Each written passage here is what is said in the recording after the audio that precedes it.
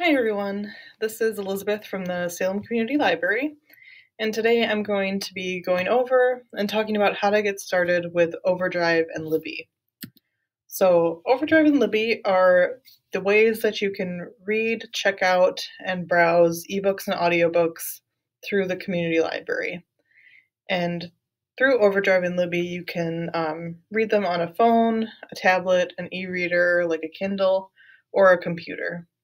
Um, so you might have heard of some of these things I'm talking about before.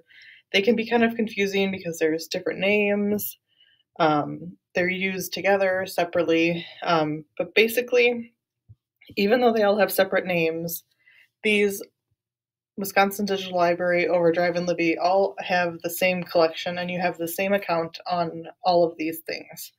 Um, so your checkouts are the same, the holds are the same, and your library card that you use is the same. So, going over each of these, the Wisconsin Digital Library first is the name of the library. So, it's um, who creates the collection of ebooks and audiobooks. It's the Wisconsin Digital Library. Um, members of the Wisconsin Public Library Consortium, like um, us at the Community Library, have access to the digital library. Um, with your library card to the community library, you are able to check out ebooks and audiobooks. Then Overdrive and Libby are how you access that library. Um, so there's an Overdrive website and an app, and then there's also a newer app called Libby. And I'll be talking about each of these things a little bit later on. Um, so don't worry too much about distinguishing these three and all the different names. Um, like I mentioned, they all do the same thing.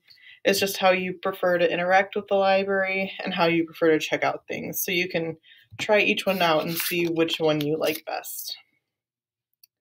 So no matter which one you use, you will always use your library card to log in.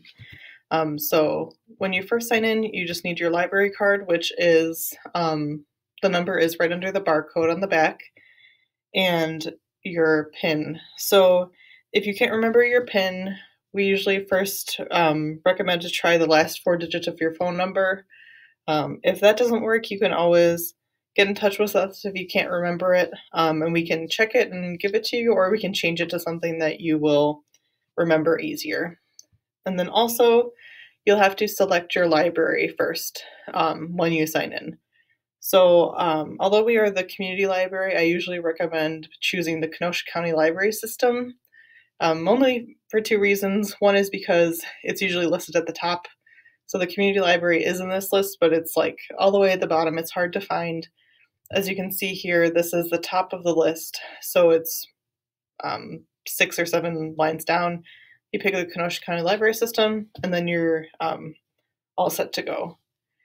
And because we at the community library are part of the Kenosha County Library System, it works just the same logging in that way. So once you're all logged in, there's um, a few different things you can do. So you are able to um, check out and browse audiobooks, ebooks, and also videos. Um, so how it works mostly is that um, the Kenosha County Library System shares copies of ebooks throughout all of the libraries. Um, so some of the popular titles um, will have long holds lists on them so instead of checking them out, you're able to place a hold on them. Um, so then once you have something checked out, you're able to read it or listen to it on your Kindle, your computer, your smartphone, your tablet, whichever you're using. Um, there are some limits on your account. So generally, the limits are 10 holds at a time and 10 checkouts at a time, or 10 loans is what they call it. Um, so you can only have 10 at a time um, per account. And then you're also able to renew items um, only three days before they're ready to expire, and only if they have no holds on them. No one's waiting for them. I'm going to kind of go over the three that I talked about earlier. So the first um, for Overdrive that I'll talk about. So this is how you're going to look at the library and browse the library. So um, the first is the Overdrive website, and the website is listed right here. So you'll just type this into like Google Chrome, like Internet Explorer or Firefox, and then it'll take you to this. This is kind of like part of the main page. So this is what you'll see. So the website is um, good for people who um, like to listen or read on a computer. You can also stream video. Like I said, we have videos available. And you can also deliver audiobooks to an e reader and ebooks. Um, you can use a screen reader. And then there's also different features that are available on the website which aren't available on the other um, apps that I'm going to talk about, like the wish list. Um, you can rate titles, and you can also see your reading history. Um, so, kind of just as a personal example, how I use the website, I like to browse on the website because I think it's easier to see what's new, what different collections there are. Um, and then I like to use the apps on my phone to either like listen to audiobooks um, or um, read books. So, like I said, it's about figuring what works for you. So now we'll talk about the Overdrive app. So the, they call it the Classic Overdrive app. It was released in 2011, and um, a lot of people still use it today um, and prefer it as their way to check out and read audiobooks and ebooks. So um, it's actually recommended if you have an older device because Libby is newer. It's sometimes won't be available on devices that are older. And then also, um, it's recommended if you have a Fire tablet, just because Libby is not available on Fire tablets. Um, so, if you mainly use a Fire tablet, you might want to try using the Overdrive app and see if you like that. You can also send Kindle books to your Kindle, so you don't have to use the app if you don't want to. Um, and you'll see, as I mentioned, they really encourage Libby, and you'll see a lot of marketing around it. But you can try, if you're not liking Libby, you can try the Overdrive app and see if that is more intuitive for you and if it makes more sense for you. So now we'll talk about Libby. Like I said, it's a newer app, um, how you can interact with the digital library. Um, it's great for first time users and streamlined. Um, like I said, ebooks can be sent to your Kindle. Um, so once you download the app, it'll kind of guide you through the process of logging in with your library card. And as I mentioned before, it's not available on the Fire tablets. Um, it's only available on the iOS App Store or the Google Play Store. So, those are the three main ways that you can interact with the library so, the website, the Overdrive app, or Libby. So, now I'm going to talk about um, how to navigate and use them so it's, it's kind of confusing, so I tried to make it as understandable as possible here. So I'm going to focus more on tasks and then show you how to do them on both the website and on Libby. So I don't really focus on the Overdrive app, but the advice for the website is pretty similar. Um, and if you have any issues with the app, the Overdrive app, you can feel free to get in touch with me or the library and we'll try to work through it, um, any issues you're having. So first, we're going to talk about how to find something to check out. So that's kind of the first step is you want to see what's available. Um, so to the right here in the video, I'm just showing that when you sign in, you can just scroll down on the home screen and there's different lists. Um, so things that were just added, um, always available, staff picks. So that's a great way to browse and see new items. You just go scroll down and it'll have a bunch of recommendations. And then on the website, um, on the top bar here, you'll see there's like this navigation bar here. So you can browse by subjects. Um, collections are really great. I have kind of here, um, once you click on the down arrow, it'll show you all the collections that are available. So I use a lot of the times the just added collection because that'll show what's really new um, that's just been added to the library but they also have um, like genres, so like Wisconsin reads, always available, series starters. So they're a great way to find something new. You can also browse by books that are available to send to your Kindle only or books that are available now. Um, so the thing with Overdrive is that um, there's only there's a limited amount of digital copies of the book. So like I mentioned for popular books, sometimes you'll be waiting a long time. And if that's not something you don't want to wait, you can just click on available now and it'll show you items you can check out right away. Um, so here, there's also um, age specific collections. So there's kids and teens, and if you click on these, it'll take you to a separate version of the Overdrive website that only shows you um, content that is geared toward that age group. So with teens, you'll just see teen books and teen audiobooks, and you can always go back to the main collection if wanted. There's also um, searching, so you can do the quick search here. Um, and as you're typing, it does kind of auto um, complete. So just like Google, um, it'll pop up with suggested titles. Or there is an advanced search you can do if you have more information. Now on Libby, it's pretty similar. So um, when you're on the app, you can just scroll down the home screen just like we did on the website, and you'll be able to see collections, staff picks, what's new, um, and it's a great way to like just browse and see what's available.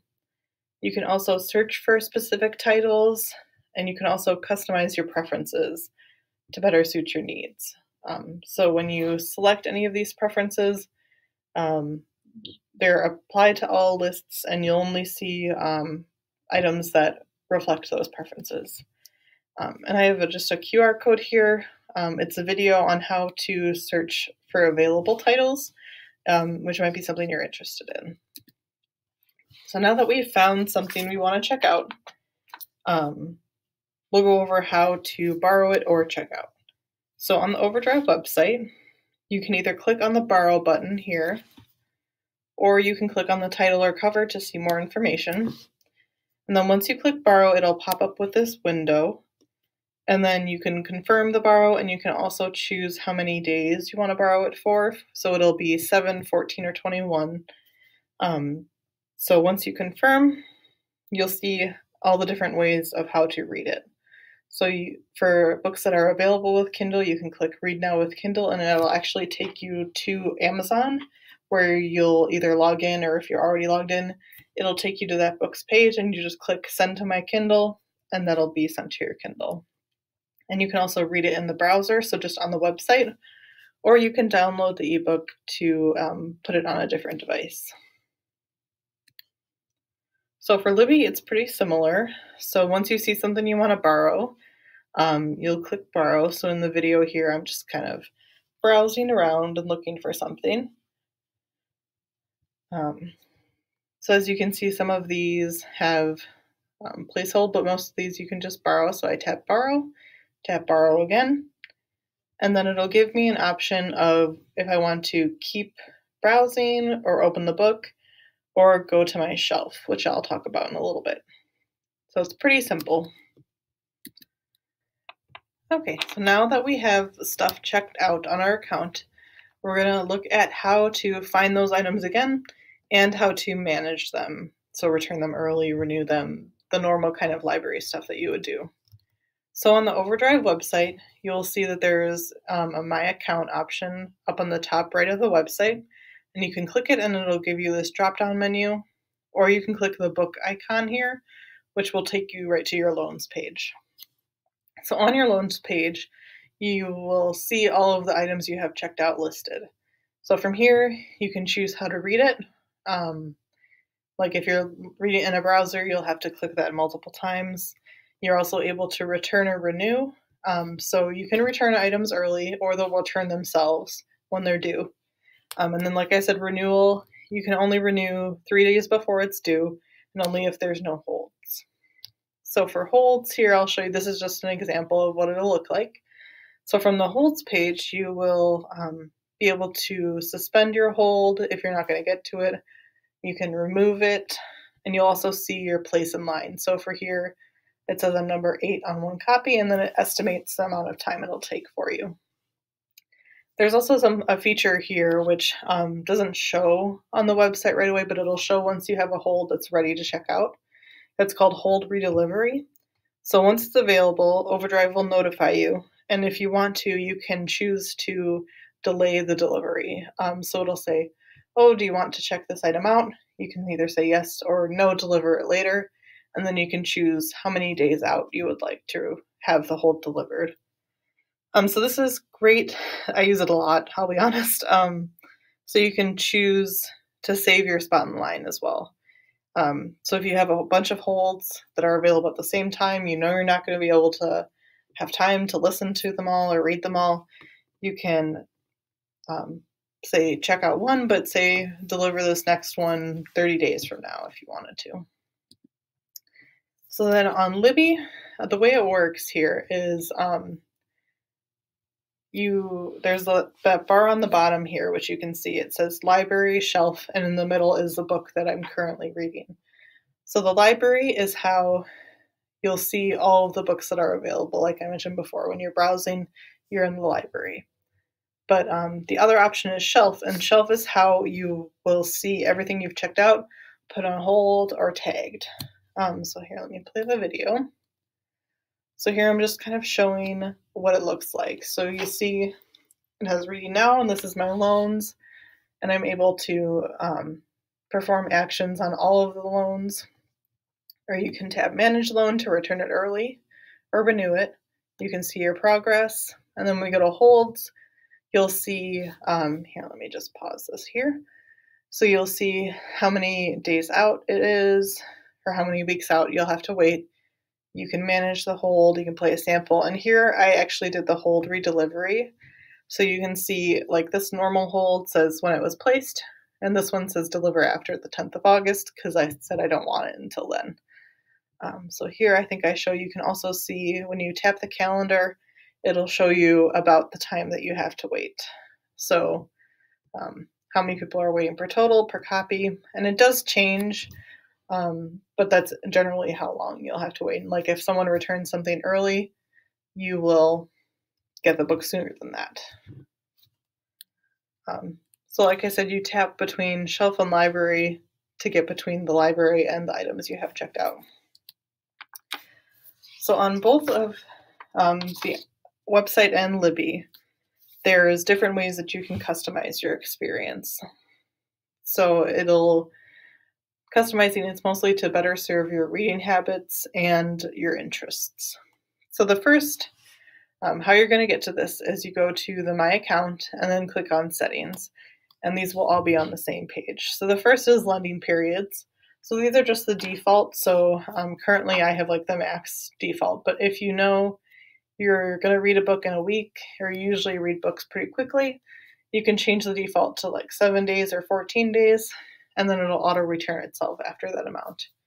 Um, so this way, you could return things manually, but if you change the default, it clears up your shelf faster if that's something you're interested in. You can also choose to save your checkout history. So this is great if you're trying to keep track of what you're reading. Um, and you can also, like it says, remove the individual titles if you don't want them in your history anymore. There's also display options um, to make the website easier to use. So there's high contrast or the dyslexic font option. And then there's also content preferences. So if you have a teen or a kid who's using the Overdrive account, you can customize it so that you'll only see kid titles or young adult titles. Or if you don't want to see mature titles, you can all change that. Um, and then there's also the option to um, only show Kindle op- book options um, if you mainly use Kindle to read your books. So for Libby, there's also a few ways you can customize. Um, so the cool thing about Libby is that it'll automatically display the language that your phone is set in. So um, if your language, if the language on your phone is set to Spanish, Libby will also display in Spanish, and this is it has nine different languages. Um, so that's one way that you can customize. You can also manage your notifications. So um, in the top of Libby, you'll see this icon. If you tap on it, you can click Manage Notifications, and then it gives you all these options here. And there's more that I'm not even showing. Um, so you can choose. Uh, so for example, when a loan is expiring, so when it's going to return itself, I chose to get a notification so I can either put it on hold again or try to renew it. But you can also just ignore it. You can have a menu badge, which is in here, or you can have a notification on your phone. Um, the, there's also the feature of tagging items in Libby, so this is a great way to organize them into categories and save them for later.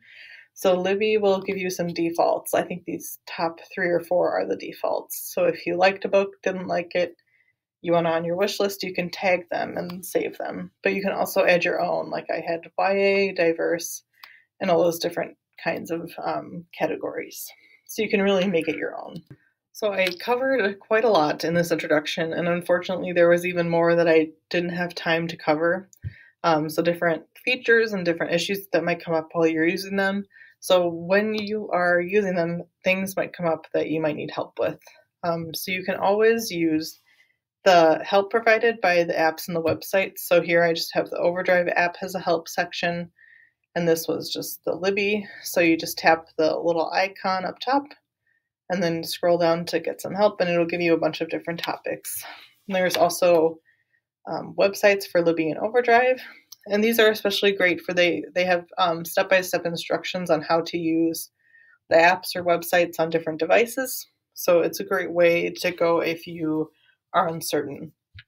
You can also um, feel free to call or come into the library for help. So even if we don't know how to do something, we'll always work to figure it out. So I know it can be really overwhelming and intimidating to try and um, navigate these different apps and websites. So don't be hesitant to ask for help. And I have our temporary hours and the phone numbers for each location listed here. Like I said, I know there's a lot of information covered, but I really hope it was helpful and conveyed in a way that makes you confident to try it on your own. Because um, I really enjoy using Libby and Overdrive, so I, I always want everyone to have a good experience with it. So, like I said, if you're having issues, you can always feel free to contact me. I have my email listed there, also the website. Um, and I guess that's it. So, thank you for watching and have a good day.